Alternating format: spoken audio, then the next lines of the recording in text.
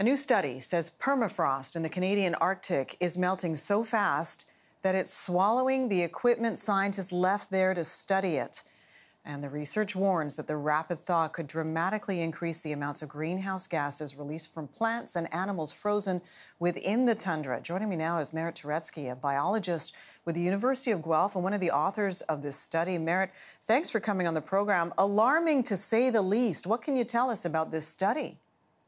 Yeah, so let me first explain what permafrost is. Mm-hmm. It is simply frozen ground that underlies actually most of the Canadian North and most of our country. So, more than 60% of Canada nationwide is affected by permafrost.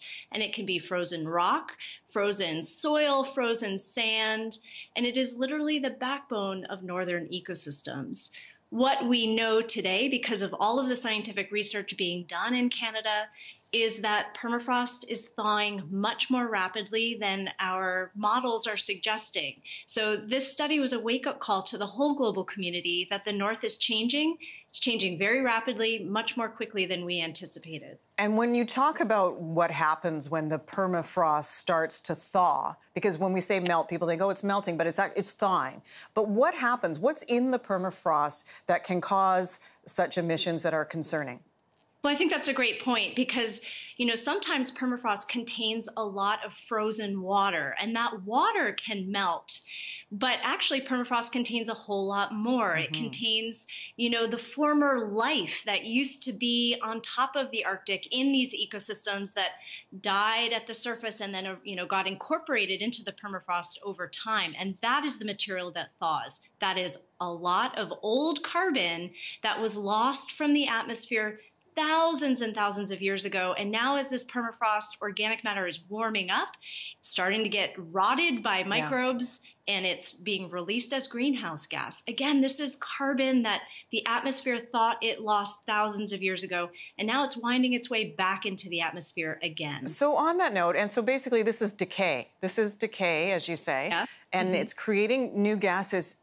And, you know, to ask the question that people who aren't necessarily on board with climate change might ask is this a natural thing that would be occurring regardless of what mankind has done to the planet? Is this something that happens naturally, occurs naturally over a long period of time, and we're just seeing it now?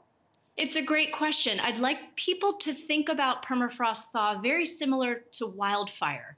You know, fires have always influenced the Canadian North. Permafrost and its sort of natural cycles of thaw and then recovery are also part of the natural cycle of the Canadian North.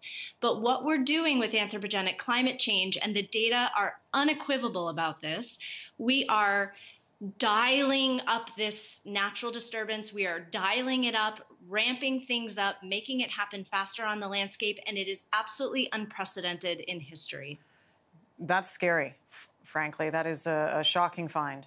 And it's not just a carbon story. You know, this is literally the backbone of all northern infrastructure, waste containment, roads, homes, mm-hmm. uh, oil and gas resource infrastructure, water quality. So, this is not only going to hit our pockets and our economy because of carbon emissions and greenhouse gas emissions, but because we're going to need to repair this infrastructure as it's being damaged, it's going to wind up having lots of economic impacts. Well, we appreciate the alarm bell. Uh, I wish we had more time to discuss, but thank you for your time today, Merritt. Appreciate it. Thank you. Merritt Turetsky, biologist with the University of Guelph.